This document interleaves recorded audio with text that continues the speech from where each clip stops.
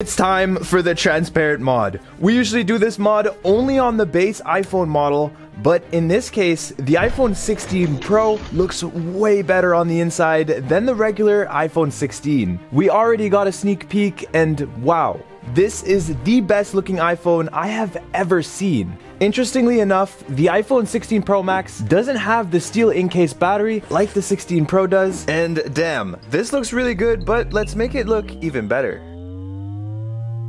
We're gonna grab our massive suction cup and slap that on the back of the iPhone 16 Pro. I haven't even activated this phone yet, so uh, you know I'm dedicated to what I do. We'll pull up on it and you can see just like that, the back glass comes up because we already opened this up before, literally just to get a sneak peek of the inside. So I have talked about this before, but Apple completely redesigned this phone. The 15 Pro Max back glass mod didn't turn out that well due to how it was built. You can remove the back glass, but you can't see the internals through it. And well, that's kind of the whole point of a transparent mod. So this phone is going to look spectacular.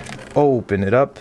All we need to do now is unscrew this shield with the Apple logo. I love the little touches that Apple adds in these phones. And now we can just disconnect the back glass. There we go. So on this back glass, we have the wireless charging coil.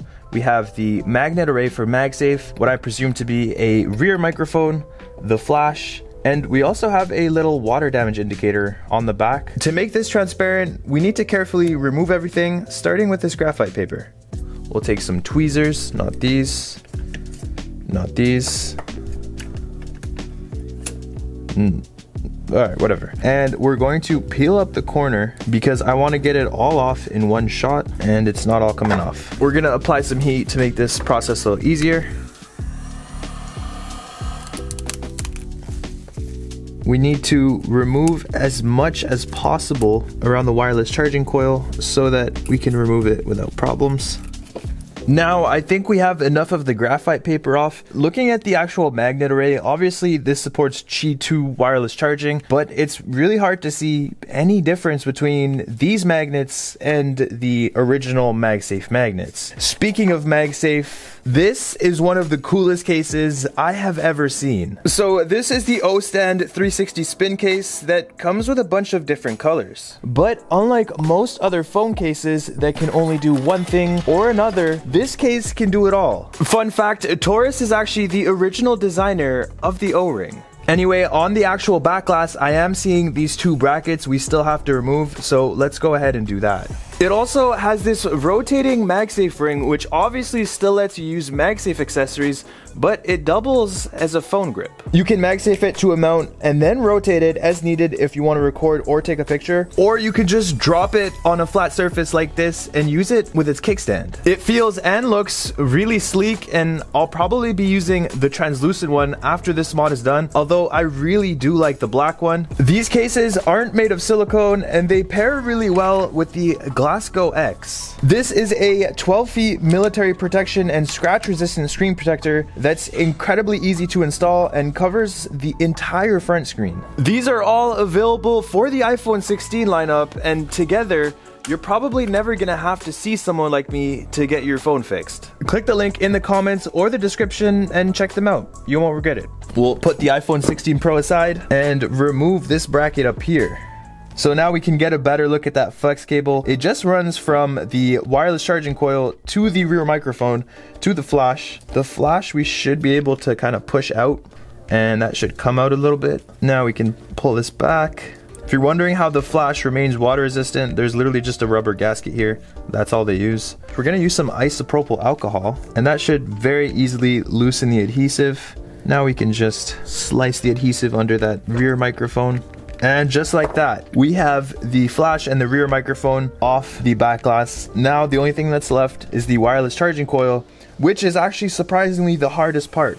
So in the last video, I actually developed a method where we used the wireless charging puck on the back alongside a ton of heat and slowly but gently pulled on the charging puck, which actually worked and released the wireless charger without any damage. Let's see if it can work this time around. We'll put some heat resistant gloves on. Now we're gonna try to place the heat gun on the table and cook the back glass. Once my hands feel like they're burning off, it's time to attempt to remove the wireless charging coil. We'll place the MagSafe puck on the wireless charging coil, and because they're all adhered together, it should come off in one piece. Or so I thought. We've run into a bit of a predicament already. The cover of the wireless charging coil seems to have come off. They're supposed to come off together, but they separated. I think what we're going to do is add some adhesive on the coil and then re-adhere it to the back and then try and pull it off that way. No way. okay. That actually worked. And there we go. Now, I made a bit of a mistake this time. Usually I put paper behind the coil, but this time I didn't. Let's see if we could just fit a card under. It's not looking amazing right now, so we'll clean it up a little bit and replace the magnets later on. Now that everything is removed off of the back glass, we're going to do what we usually do. Grab a container, grab some acetone, and pour it into the container. Before we put the back glass inside, it's important to pry up just a little bit around the corners to let the acetone actually go underneath this metal plate. So we've left the back glass in the acetone for three days, a little bit excessive, but it's actually evaporated. So we can now pull it out and you can see how wrinkly and nasty the glue is underneath there. Everything should be pretty easy to remove now. We're going to try something completely different this time around. Apple hinted that the iPhone 16's metal backplate is actually made of 100% recycled aluminum, and because it can be incredibly difficult to remove just by prying, especially around the camera bumps, well, we have gallium. Gallium is a metal with an incredibly low melting point that can eat through aluminum and make it as brittle as a dried up leaf. If we put this gallium in the boiling water, we're going to quickly see that the gallium turns to a metal liquid. To ensure this will work, we need to sand down the aluminum on this back glass. Our main focus is the area around the camera bumps because those are the hardest to remove. Now, all we're gonna do is, should we cover stuff up so it doesn't seep into the, Nah. nah. now all we're gonna do is pour some of the gallium onto the aluminum backing. This stuff kind of goes everywhere, so this will need to sit for a little while before the aluminum and gallium can interact.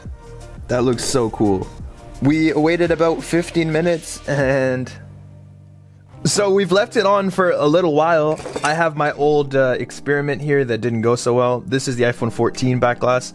We're gonna be pouring in the gallium here once we're done so we can reuse it. But for now, we're gonna take our blade and see what happens if we get under.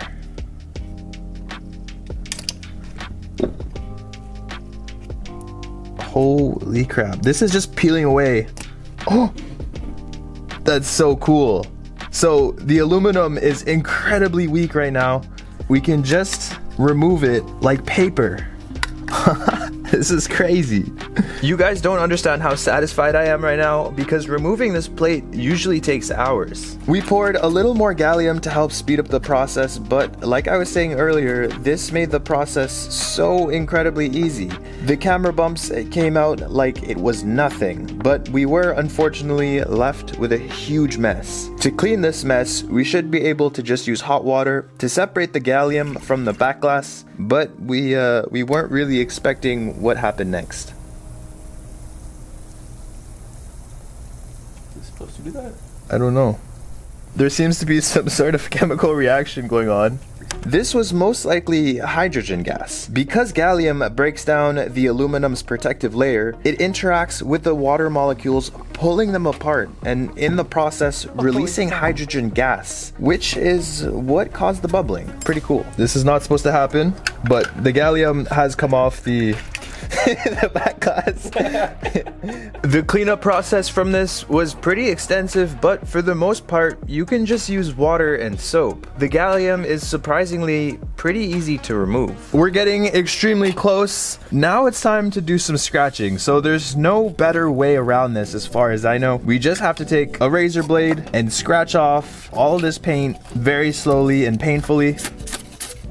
And there it is. We just finished scratching off all the leftover paint and this thing looks beautiful. It has a nice matte texture with the Apple logo being completely transparent. We're still not done just yet. We have to find a way to connect the camera bumps to the back glass because the aluminum we removed was doing just that. We'll use some super glue and apply it around the perimeter of the holes for these bumps. This shouldn't affect the way this looks at all because it won't be visible. As long as we clean off all the residue, everything should look just fine. Now we'll reapply the MagSafe magnets and reinstall the wireless charging coil and the flash. We'll make a few final touches, reinstall everything, and reheat the adhesive so it's sticky again.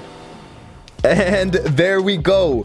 The first ever look at the iPhone 16 Pro transparent mod. This is hands down the best looking transparent mod I have ever done with the metallic battery, the Apple logo, the Taptic engine, the little Apple logo over here. And uh, well, we still haven't tested the flash and the wireless charging coil and even the cameras because they've been through a lot after uh, after everything. So first thing we'll do is flip this around and we'll hit the little flash icon. I almost forgot I have the Torras screen protector on. It's just like blending in there. We'll turn on the flash and take a look at that. It works, thank God. We didn't damage that. Did we damage the wireless charging coil? We'll put on our MagSafe power bank just to test the magnets as well. That clicks on nicely and it's charging. Now for the last test, let's see how good those cameras are. Looks fine to me. Looks fine to me. And looks fine to me. We did it. Thank you guys so much for watching. I really hope you enjoyed this one. This took us probably around three days to actually complete, three or four days. So uh, don't forget to leave a like, subscribe, hit that bell button, and I'll see you guys in the next one. We have a lot more cool mods on the way, so stay tuned. Peace.